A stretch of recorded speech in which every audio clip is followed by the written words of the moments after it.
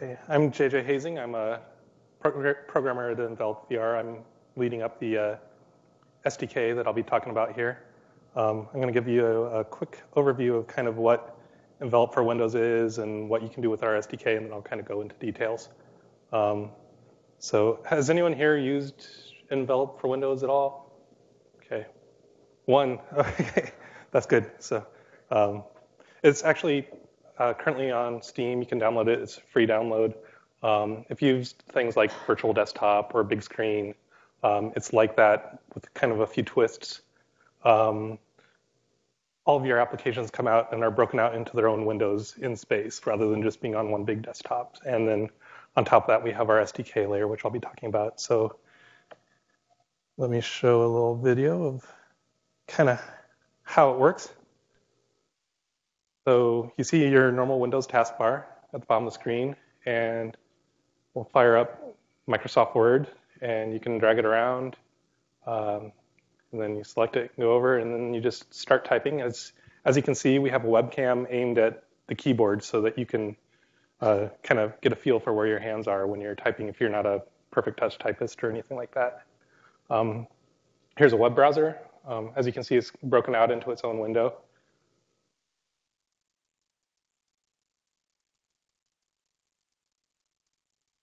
And this is our developer portal. This is where we host all of the documentation and samples for uh, Envelop. And this is kind of showing the basics of whatever SDK can do. Here's a live coding sample where you just click play in a browser and there's a sea of cubes in your environment, all running in JavaScript in the browser um, but then extending into the full 3D environment. And that's what we'll be talking about mostly today. Um, and here we're changing all live in the browser, blue to green, complete with autocomplete and IntelliSense. Change the size on the boxes a little bit. We'll be going into this in a little more detail. Click play, and there you have slightly bigger green cubes instead of the smaller blue cubes. And again, all running in the web browser in a live code editor.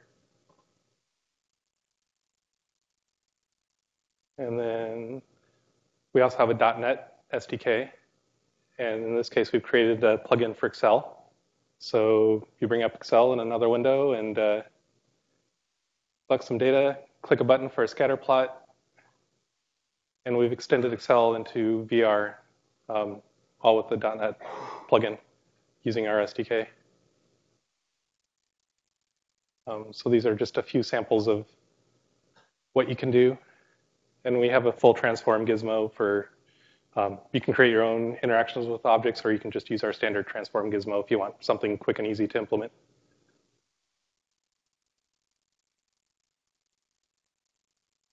And then I think the next one I'll be covering later, so I'll, yeah, stop the video short there. But as you can see, multiple windows all in the environment. You can place them wherever you want. You can spin the environment around you and the windows move with it and stuff like that. So little teaser of the car there.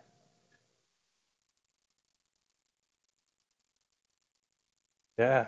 Oh, and I just closed PowerPoint.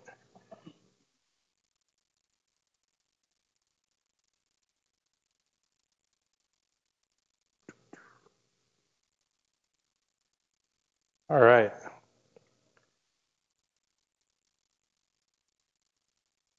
So we kind of call it our toe dipping strategy. You don't have to like create a full VR application to be a VR programmer. You can extend an existing application. You have you already have all your application logic, but you want a little VR on the side.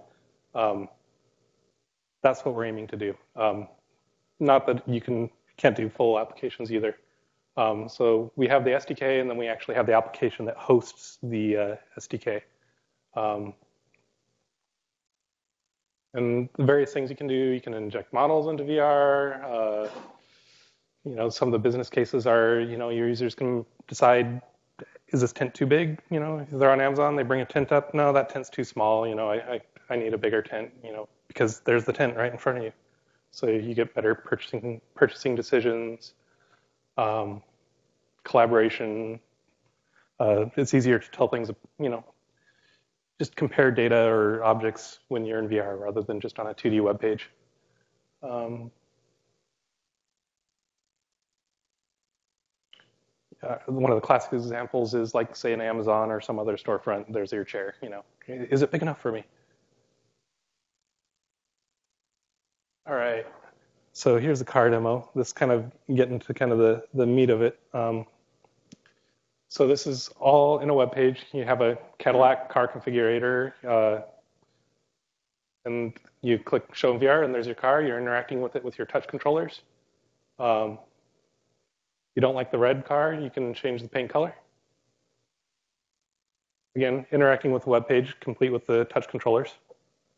Um, all the application logic is running in JavaScript in the web page. Our SDK is entirely JavaScript. It's actually written in TypeScript, but that's it.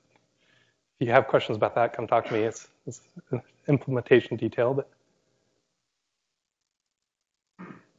when you want to see the inside of the car, you click the inside, and there you are. And so, do I fit in this car? Do I have enough headroom? How's the reach to the steering wheel? Um, all sorts of interesting applications for extending not only applications but web pages into the VR. Um, so a little overview of how the SDK actually works. Um, it's actually based on WebSockets. So we host a WebSocket API in Envelop for Windows. And then the web page creates a WebSocket connection. This is all handled for you. You don't have to worry about it. This is kind of how it works if anyone cares about these implementation details. Um, but one key aspect of this is it's entirely asynchronous. And the nice thing about that is, um, you know, the headsets are running 90 hertz. You miss frames. It doesn't feel good for the user. You know, you cover up with uh, async time warp and things like that. But uh, in this case, your application doesn't have to run a 90. It doesn't have to worry about running 90. All the calls are asynchronous, and then we deal with all the heavy lifting for rendering objects at 90 hertz behind the scenes for you. Um, it's all handle based because it's asynchronous. So you get handles to objects, you trade objects, you get handles back. Um,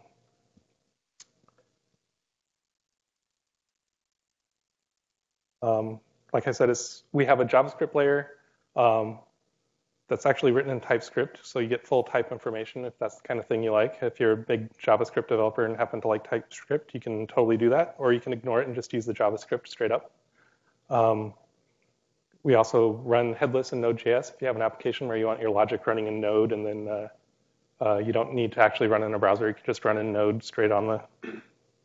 Um, and then we also have a .NET layer, so which also uses the WebSocket API, and that supports .NET Core, UAP, and interestingly Unity. So you could actually do all your logic in Unity if you wanted to, and then it will talk to us for doing the rendering into the headset. Um, and the, again, the cool part of this is the application doesn't take over the headset. You still see your windows. You still see other applications running at the same time. Um, it's not exclusive mode. Yeah. Is the, uh, visual side of the application separate from? No. Okay, so. Yeah. Yeah. It's it's heavily threaded though, so it's uh, we do a lot of work to make sure we keep frame rate up. So you can still drown it with content if you really you know put a lot of stuff in there. Um, we have some you know safeguards like uh, limits on resources that you can create and stuff like that. So um, we do have a native layer, but currently it's internal only. But it's something we could expose to the end user if we wanted uh, for both local in-process native applications and remote native WebSocket clients. Um, but for now, we kind of focus on the JavaScript and .NET. Um, and I'll show you how our samples web page works. Um, so you just go to our web page, web page and go to the SDK docs, samples, and uh, I was kind of showing you, you know, you have, this is actually Visual Studio Code, the Visual Studio editor for web type stuff, uh, fully embedded in our web page, um, complete with an, all the IntelliSense and everything like that. Um, I already showed you this, so I'll kind of skip over it. I don't think, uh, let's see. Um, now, within the SDK, we have some basic terminology that if you're, how many people have used Unity or Unreal? Like, okay, most people. So meshes, materials, and then blueprint. A blueprint is, so you create your meshes, you create your materials, then you create a blueprint which assigns the mesh and the material together.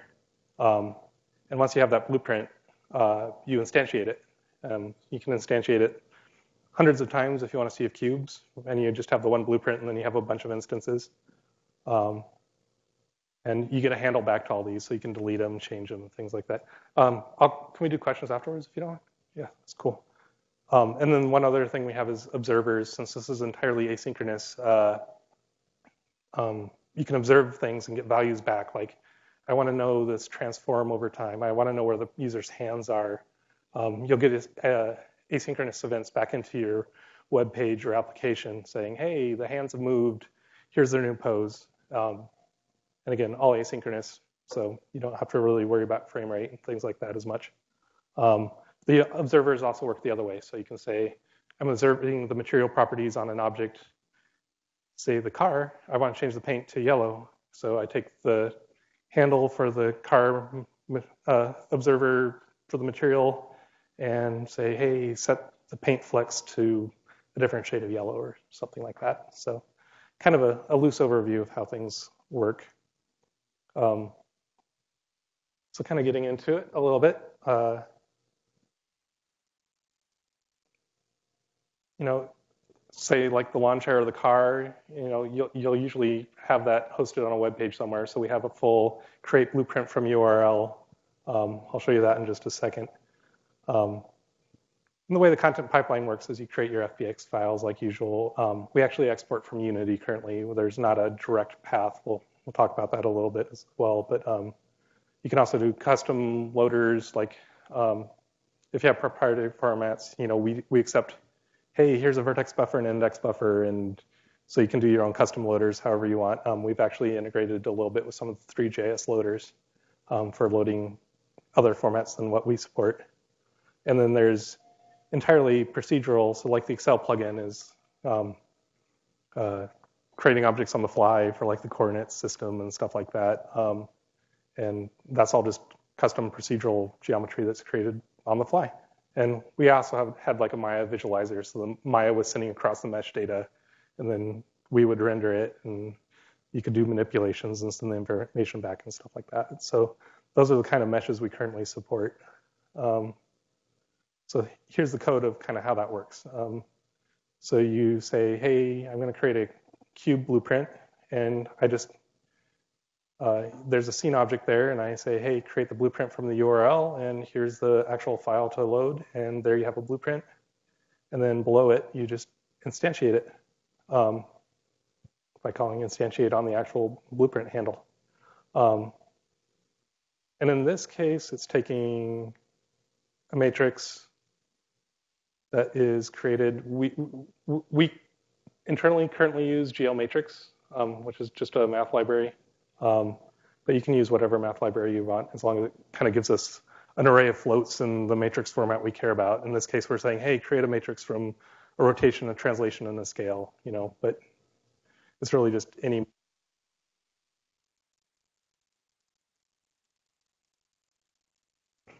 There we go. Cool. Yeah, let me know if you need to swap it out. Um, and units are in meters, so cool. So what's going on here? So this is a geometry sample, and you can see the different types of uh, geometry formats we support, and it'll show, you know, there's vertex lit, unlit, you know, here's some vertex colors on there, um, et cetera. So um, and you just specify an index buffer and a vertex buffer. It's pretty low level, but if you want to skip all that, you just import an FBX from Unity and call it a day.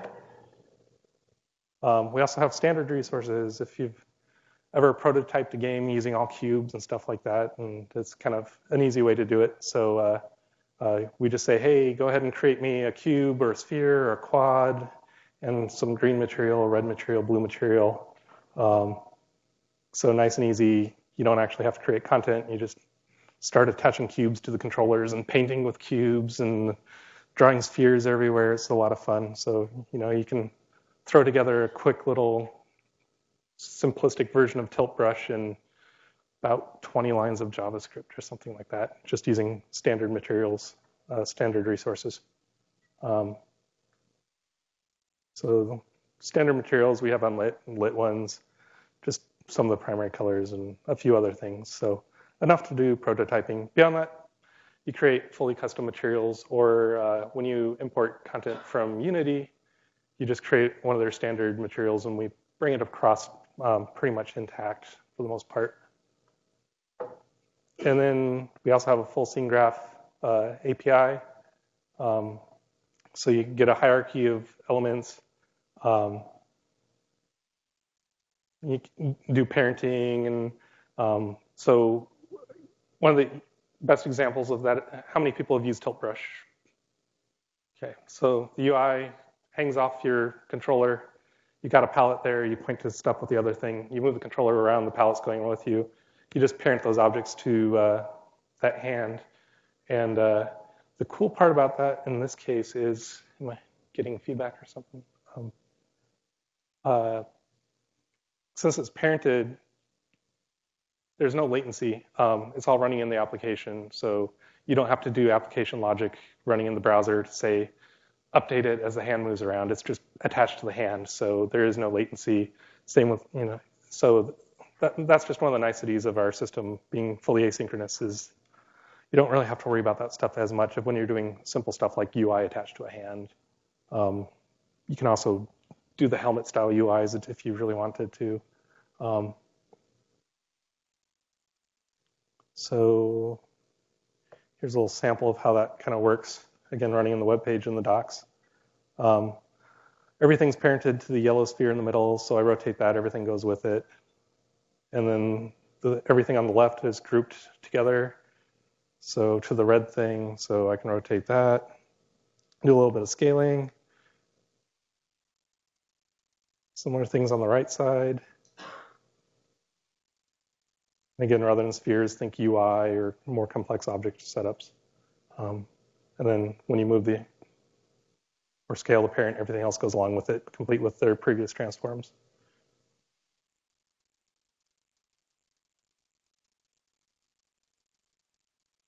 yeah, hopefully you do more than just spheres, but hey, spheres are fun to start with. Okay. And here I'll go into another case of parenting, like I was talking about, like the Iron Man style UI. I pick up my controllers, and then I'm going through and kind of creating some spheres and stuff and instantiating them. But I'm instantiating them parented to the controllers. So the left and the right controller. So when I hit play, boom, there's spheres attached to the controllers. I don't have to worry about updating anything in the uh, actual application logic. It all happens within the Envelop Windows application itself in the runtime at 90 frames a second. So um, that's basically how that works.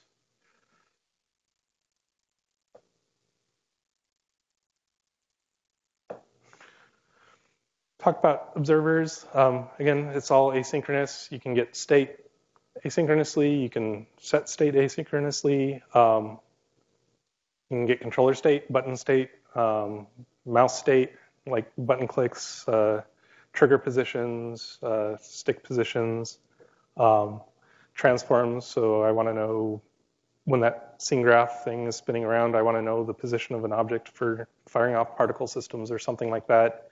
I can get the transforms um, in an asynchronous callback. And the same thing with material properties, um, primarily for setting in that case, but um, that's kind of what we have going on with the observers.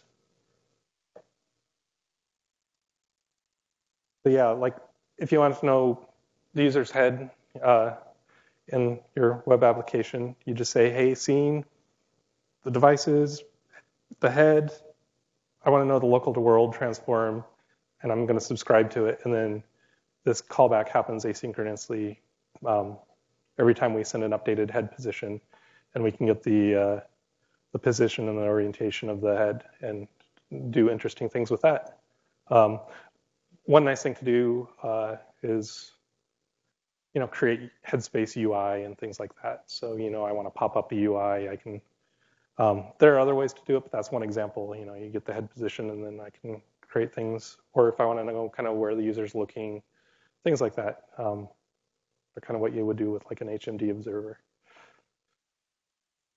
Same thing with controller, only in this case we also get the press buttons and the touch buttons. Um, and you can differentiate between the left controller and the right controller. Um, we handle that all kind of behind the scenes. Um, so that's kind of a quick overview of the SDK. Um, did you want to come up and give a talk? Cool. And um, so everything's on the SDK docs webpage. Um, which has all of our samples and all our documentation, and then all of the actual um, JavaScript and TypeScript uh, SDKs and the .NET SDKs are all hosted on our GitHub, which is linked to from our SDK docs page. Um, and so we do all the updates on GitHub. And if you post issues there, we'll look at them. Um, we also have a Gitter, but I'd probably focus on using the GitHub issues page if anyone has stuff they want to talk about there or anything like that. Um, we also have a forums you can check out. Again, I'll link to from the SDK docs page. Um, so yeah, cool. thanks. Awesome. So JJ covered a, a, a lot of it. Um, and I'm sure some of you are wondering, okay, you can do all this cool stuff with this SDK, but so what, right? Um, I, I, think the important part to remember here is that you can use all of these techniques to extend any application into VR, right? And if you want to prototype something quickly or just make your own VR applet, you can do that on this SDK too. Um, just a show of hands, how many of you are actually programmers and how many of you have, so, so I'll just do programmers first. How many of you are programmers? Okay, so half the room. And then how many of you have developed in VR? Okay, so everyone who's a programmer.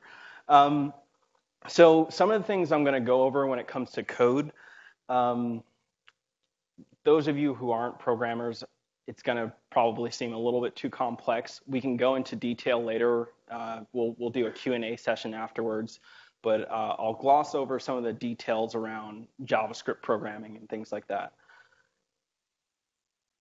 So let me start with uh, getting into our samples page, the one thing I, I want to show you guys is how can we create um, a really simple VR applet using this SDK? And then on top of that, you know, what are the results of it? So can we, you know, create something that's compelling? And I'm going to show you a few samples that we created using this SDK. So um, if you come to me and you're like, hey, Aaron, okay, I want to start building on the Envelop VR SDK, but I don't know what to do. Uh, the first thing that I would do is point you to our um, SDK docs page here, and specifically point you to the Cubes uh, page because it kind of shows you the very basics of how to create a VR applet with the SDK. And I'm just going to go uh, semi line by line on this, um, and I'll, I'll, kind of gloss over some of the other details. Um, but with this, so what this demo does is it helps you understand how to create a scene, how to create a cube mesh using some of our standard resources, how to create a material, how to use that material in the mesh to create a blueprint, how to instantiate a blueprint, um, and and uh, basically how to rotate it and, and move it. Um, and those are some of the basic things that you need to uh, know when it comes to creating a VR applet on this SDK. Uh, the other thing that's really great about this page is that it creates what we say is a sea of cubes, right? So as soon as you hit play, there's nothing that you have to do. You should immediately see a sea of cubes in front of you.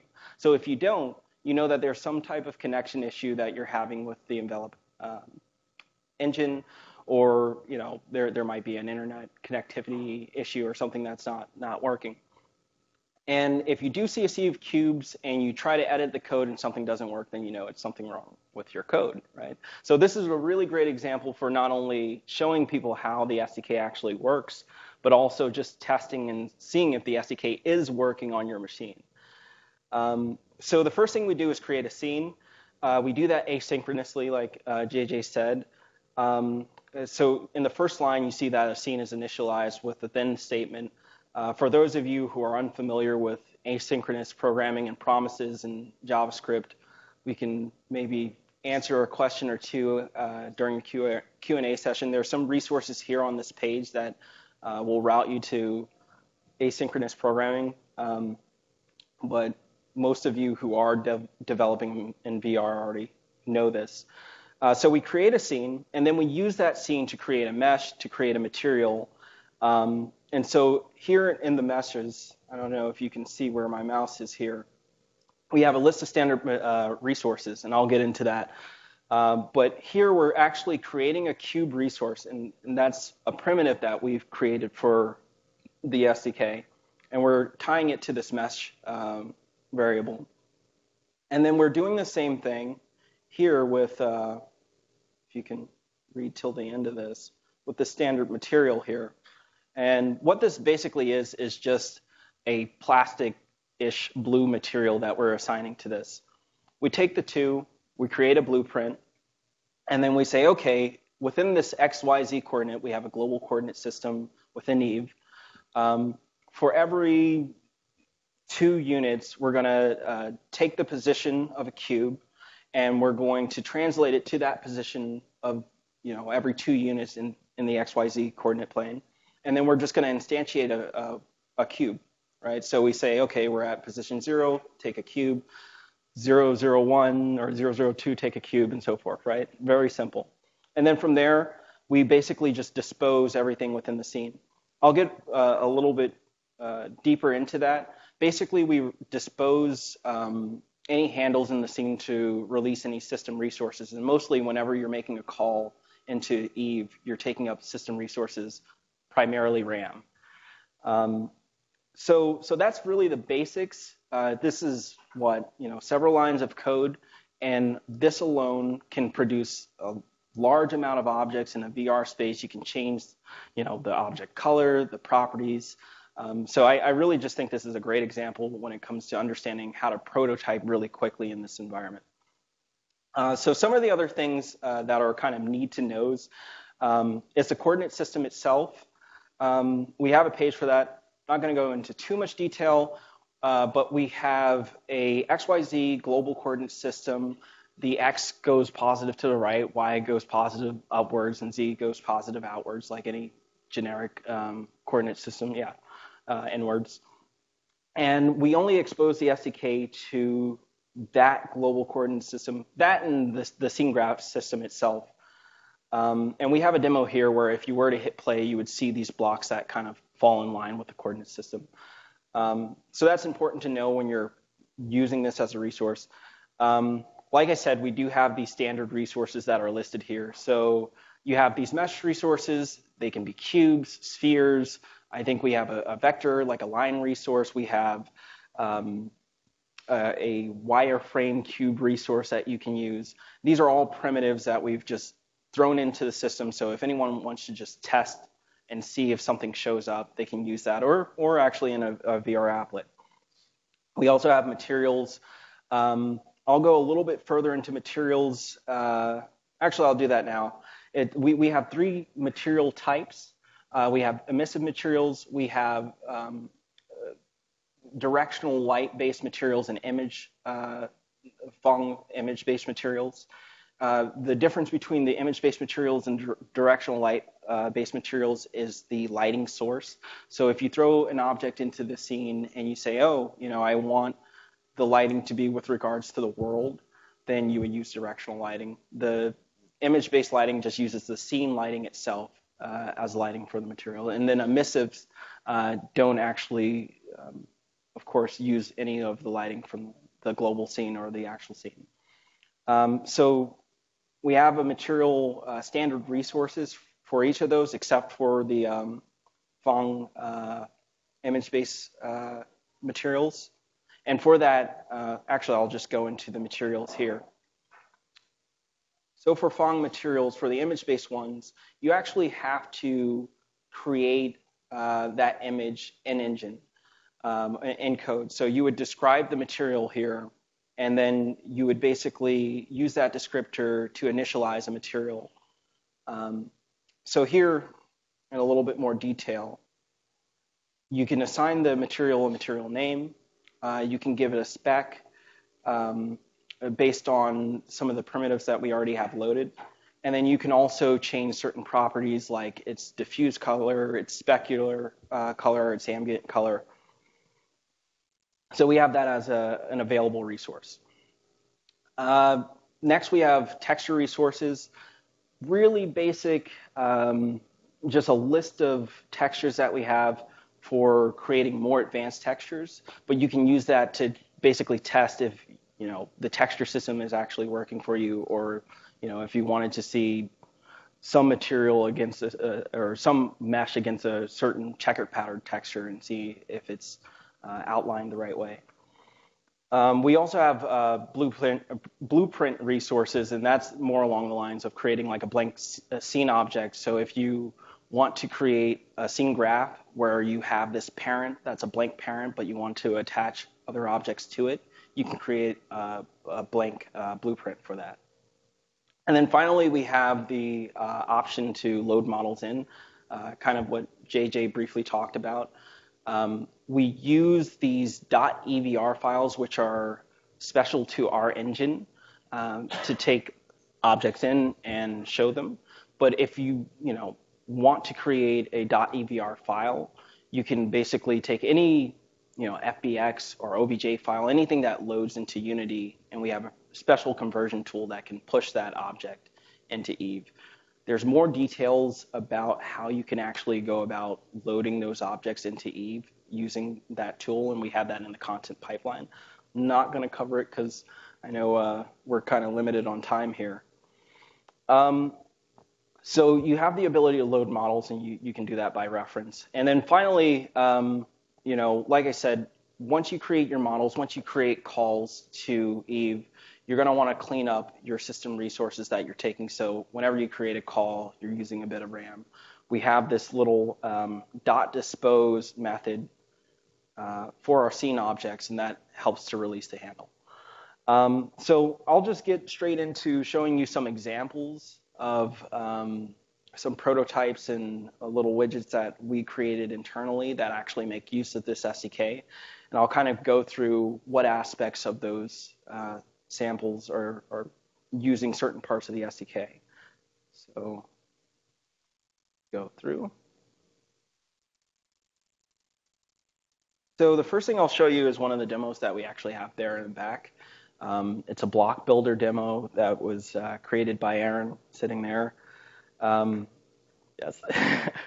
and, and basically what it is, is it's just kind of like a Minecraft-esque builder. You can have this little plate in front of you you could take cubes and make them certain colors and build a model. And the cool thing about this too is that you can actually share the model with other people. So after you've created your own model and someone else has the SDK, you can just um, go to the page and create a little URL link, and that person can take the link and see the model, and then build on top of it and send it back to you. So that's a cool thing. Um, this kind of shows off a, a, great example of how our scene graph works. So if you look here, this, this plate was actually loaded in as a .evr file. And that was actually created in Unity. So it was an OBJ file, I believe, and then it was converted. Yeah, so, so it's one of Unity's primitives that was uh, converted into a, a .evr. Um, we have that acting as, I believe, the, the parent object, and then we have other objects that are kind of uh, attached to it. Um, and so this kind of shows how the scene graph works in that sense. You see, I kind of like put some cubes on top of the plate and then rotated it. So sort of like what JJ already showed with the scene graph, you can move other objects with respect to it. And it's really useful for putting objects on top of another and uh, moving it around. Same thing goes for attaching cubes to each other. Uh, you can also see that um, he's using two uh, standard mesh resources. So he's using a wireframe cube to actually show where you might be placing a cube. And then he's also using the actual cubes to, uh, the actual cube mesh to actually instantiate the cubes on top of the plate. Um, and so if I pause it here, I'm going to pause it where you can see the uh, handles there.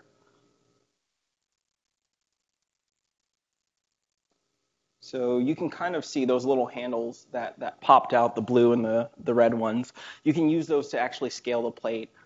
and since it's in a scene graph, the, the objects will actually scale with it. So you can build a little house that's the small, but then scale it to, to go inside of it, right? So um, this is just one example of how you can build on the SDK and one of, some of the things that you can do with it.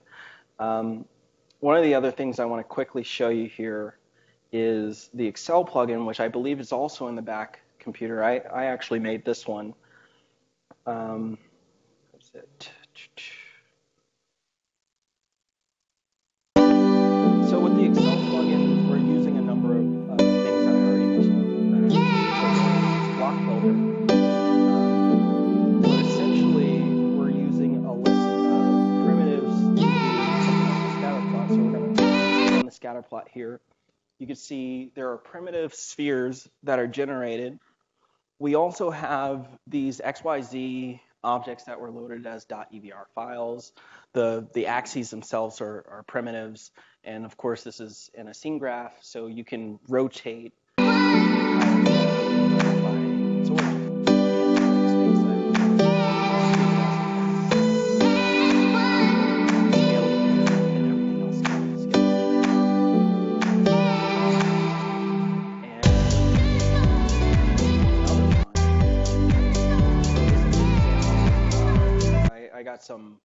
2008 election data, well, 2008 election data, and I wanted to see, you know, can we show that data in a compelling way in which you can kind of understand it in a different way? So, you know, how can we see how economics ties to partisan ideology? So this is just a there's sound with this. This is a I'm going to mute that. So this is an example of um, uh, I took an SVG loader that I, I created a while ago and said, okay, can we take um, the fact that you can make particular geometry, any type of geometry that you want on this engine, and take the SVG loader and, and make it make geometry on this um, through the SDK. And that's exactly what we did here. So um, the states actually came in as an SVG file, just of the United States, just an image. And I read through that and said, okay, can we create geometry through that? So this is actually using the um, the ability to create geometry through the SDK. And that's kind of what uh, JJ briefly talked about. Um, everything else that applied to the other graph applies to this. So, you know, it's in a scene graph, you can scale it, um, move it around. Um, but I just wanted to kind of show you guys the, these simple applets to show that um, you know, I created the the Excel plugin in a matter of you know a few weeks. He he created the uh, block builder in you know less than two or three weeks, and um, it's just really easy to prototype some some interesting ideas uh, in VR just using this SDK. Uh, we'll open the floor to some questions if you guys have any. Um, any specific to building on the SDK. I know that was a little bit rushed, but I'm trying to make sure that we make time here. So, any questions? Oh. yeah, there's there there is music with that video, but you don't have to hear it. I'll I'll force you to hear it later. Yeah, I'm just wondering. Um, does envelop interact with like the window, windows windowing system? Or how do you actually get uh, the windows and visualize them in inside envelop i guess without giving everything away? So how how deep how much are you talking to windows specifically? And at what level? Yeah like, that's it's tricky. There's multiple ways to do it and we use all of them. So uh, I can't go into too much detail, but you know, there's certain APIs you can leverage to grab window contents. So.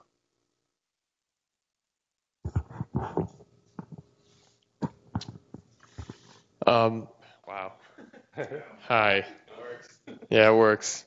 So uh, I saw that you could import Unity objects and prefabs into uh, your guys' engine and use it.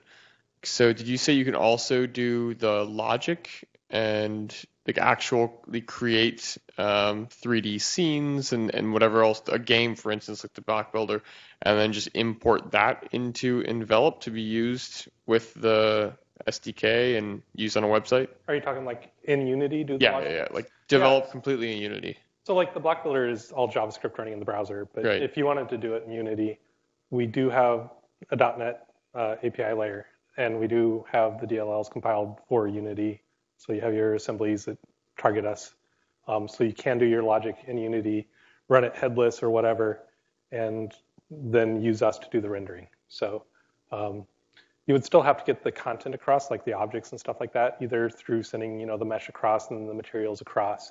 So there's still a little bit of a translation layer there. But if you wanted to use like a lot of their um, already existing game engine type stuff, you can use that um, for all of the application logic and things like that. We actually have with the, the Unity Exporter plugin, um, you can visualize the model that you're going to export using the connection through the SDK. So um, as part of exporting, you can preview from within Unity and that will load it into Envelop Live. So that's the same kind of connection that you would use if you actually wanted to build your app entirely in Unity. Cool. Thanks. Charles just here for good luck. Just kind of fills out the team. We have like a whole slide with him like. He's the demo master. So. So, what is asynchronous programming, and why do I, as a non-programmer, care? That's a good question. You won't throw up when you use a web page that tries to render in VR using our stuff. Um, Slower and one more time. So, so um, if the web page is really heavy or something like that, and it's only able to send things across at like 20 frames a second, um, we're still running 90 frames a second. You know, uh, uh, so